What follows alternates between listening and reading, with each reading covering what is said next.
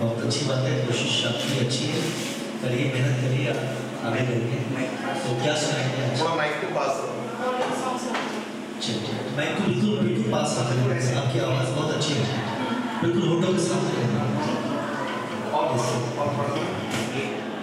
नीचे को नीचे को चलिए। एक मुलाकात हो। तू मेरे